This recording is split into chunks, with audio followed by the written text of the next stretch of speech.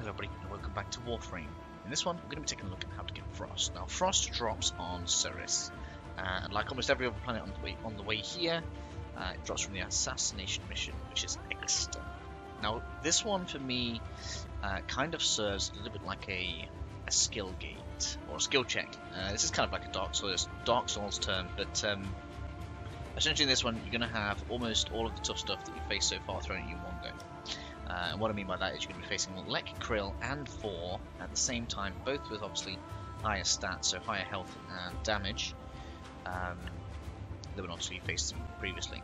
So with that in mind, I'd, I advise you tank up, so bring along someone Rhino. I'm using Volt in this one just because um, I like Volt. And I assume everybody will have one of the start Warframes by now. well, you're obviously going to have a start You should have most of them anyway available.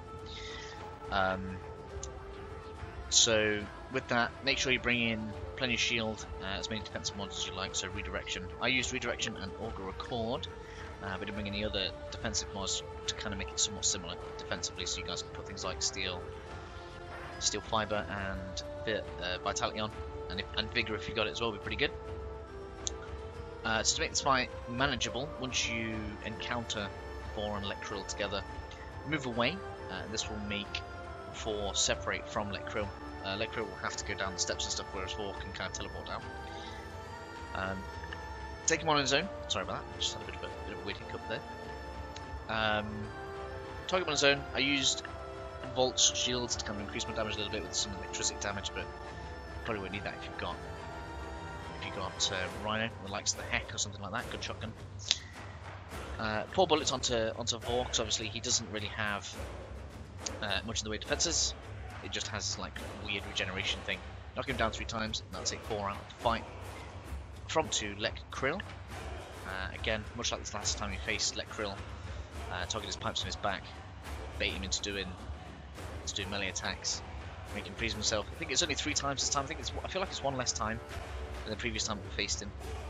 Uh, and then deal with him when, when, he does his rage out fire mode. Um, if you are struggling with this and you, and you find like, you know, you're not doing enough damage, you don't have enough defenses, that kind of thing. This is the place where, or the time where you want to start making sure you're upgrading your mods.